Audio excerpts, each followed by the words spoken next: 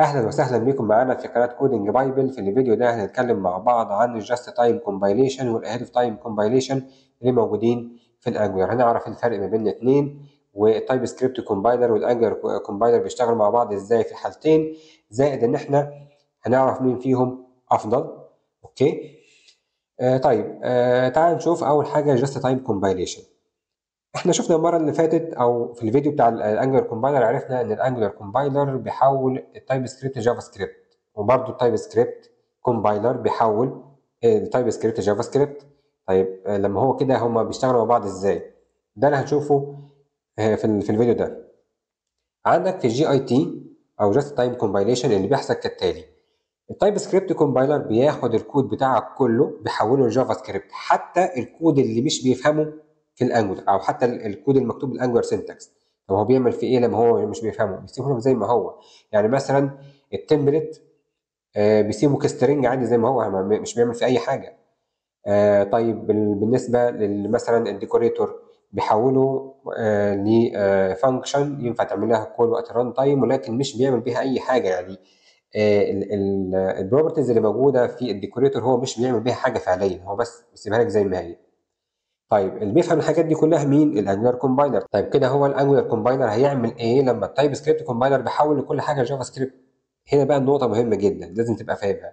في JIT ال TypeScript compiler بيحول ال Angular compiler نفسه من TypeScript ل JavaScript.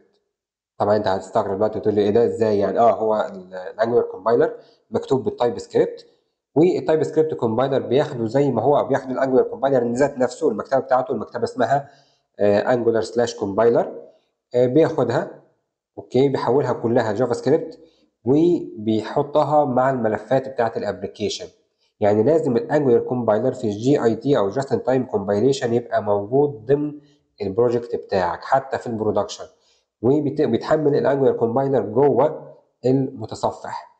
عشان كده بما إن هو طبعا المتصفح مثلا زي كروم مش بيفهم ال TypeScript okay ولازم ال Angular compiler يبقى متحمل جواه فبالتالي لازم يكون مكتوب ب JavaScript ولهذا ال TypeScript compiler بيحول ال Angular compiler إلى إلى إيه؟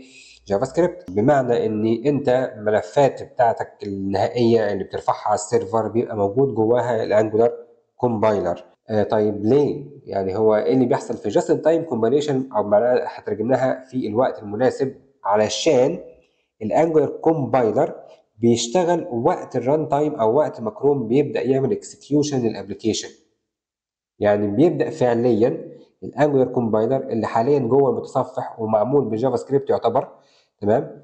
آه بيحول الكود أو ال syntax بتاعته تمام؟ إلى كود مختلف تاني بال JavaScript برضه. فأصبح في ال JIT يعتبر يعني نقدر نقول إن ال Angular compiler مكتوب ب JavaScript وبيحول الكود من JavaScript ل JavaScript تاني تمام؟ بس كود يفهمه Chrome okay؟ دي معنى كلمة just in time compilation أو في الوقت المناسب. تمام؟ طيب أمال بالنسبة لل AOT إيه اللي بيحصل؟ بص يا سيدي ال AOT أو ahead of time ترجمتها بالبلدي كده مقدما. طبعا الترجمة دي تخليك تفهم إن كده ال Angular compiler مش يعني مش بيشتغل وقت ال runtime يعني مش محتاجين نحوله ل JavaScript okay؟ وبالتالي هو بي بيعمل execution أو sorry بيعمل compilation أو transpilation للكود بتاعك تمام؟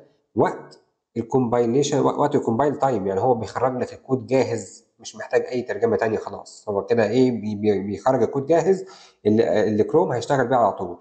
طيب يعني هو كده اذا TypeScript compiler ما بيشتغلش ما بيعملش حاجة خالص في ال AOT لا بيعمل. هقول لك بقى اللي بيحصل إيه. في ال AOT ال Angular compiler بيترجم الحاجة اللي تخصه بس. يعني بيترجم الكود اللي فيه syntax بتاعه. الكود مثلا اللي هي handle ال decorators مثلا الكود أو مثلا الكود اللي هي handle ال template okay؟ ال Angular template زي ما هنشوفها بعدين أو زي ما هنشوفها في الكورس okay؟ بس ده آخره. تمام؟ وبيترجمها من TypeScript ل JavaScript عادي جدا. بعد كده يجي دور ال TypeScript بياخد الكود اللي عمله ال Angular compiler أو كود JavaScript اللي عمله ال Angular compiler يعمل له optimization أو تحسين زائد إن هو بيترجم باقي الأكواد اللي أصلا مش بتاعت أو مش خاصة بال Angular يعني أو مش مش Angular syntax بيترجمها برضه ل JavaScript ويعملها optimization تمام؟ ففي النهاية الكود اللي بيحصل معانا Angular compiler بيترجم الحاجة اللي تخصه في ال AOT و TypeScript بياخد الكود اللي طالع من ال Angular compiler ويعمله optimization وتحسين وبيدولك في النهاية كود JavaScript جاهز تماما. okay. آه على ال execution يعني كده آه كروم بياخد كود جاهز. كروم بس يفهمه مش محتاجين أي Angular أو يعني مش محتاجين أي compilation أو أي compiler مع الكروم نهائي. okay. طيب السؤال بقى هنا. مين فيهم أحسن؟ ال JIT في ال production عندها مشكلتين. الأولى إن أنت بتضطر أو يعني بيبقى معاك ال Angular compiler نفسه متحمل معاه ال application وبيضطر كروم يعمله download فطبعا ده بياخد وقت زيادة تمام؟ وده بيأثر على ال performance المشكلة الثانية إن كروم بيضطر كمان يقرأ ال compiler ده ويعمل له execution هو كمان.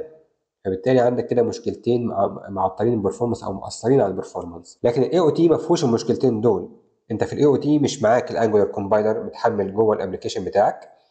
كمان آه بيشتغل في وقت ال compile time و Chrome مش محتاج أصلا يعمل execution لل compiler ده خالص. فبالتالي كده ال AOT أفضل بكتير. طيب بما إن ال AOT أحسن ليه عملوا ال JIT ال JIT أفضل بكتير وقت ال development لأن أنت وقت ال development لما بتيجي مثلا تعمل تعديل معين الملف اللي فيه تعديل بس هو اللي بيتغير. okay؟ وعندك ال Angular ال Angular compiler هيبقى متحمل في آه في كروم تمام؟ فمش محتاج انت كل مرة آه تعمل execution لل application كلها من أول وجديد بس انت بتعمل يعني ال Angular compiler بيعمل لك execution آه للحاجة اللي اتغيرت بس جوه كروم فبالتالي بيبقى أسرع شوية.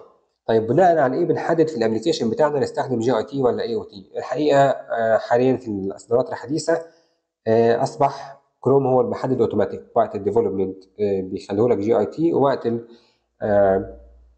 ال production بيخليه لك AOT ولكن لو انت عايز تتأكد 100 يعني تبقى 100% تمام أو متأكد ان هو فعلا بيستخدم ال AOT بنيجي هنا في ال production okay في ال builder هنا. okay في ال production budget options بنيجي هنا وبنعمل AOT true. تمام ده عشان نتأكد إن إحنا وقت ال production هنستخدم ال AOT آه لو خليتها false يبقى هو هيستخدم JIT سواء في ال production أو في ال development تمام؟ طيب آه هو بيحدد على إيه برضه أو بناء على إيه؟ ده بيتم تحديده من ال main dot ts وعشان تفهم ده لازم نفهم الفرق مثلا أو نفهم آه يعني هنتكلم في النقطة دي عن هنتكلم في النقطة دي لما نفهم في الفيديو رقم ثلاثة في الملحق لما نتكلم عن الفرق ما بين الفانكشن دي البلاتفورم براوسر دايناميك والبلاتفورم براوسر والفانكشن اللي هي موجودة اسمها bootstrap application اللي معمولة جديد بعد ال stand component. تمام؟ وبكده نكون خلصنا الفيديو بتاعنا وأتمنى الفيديو يكون عاجبك ولو عندك أي استفسار ابعت لنا ما تترددش. شكرا جزيلا للاستماع.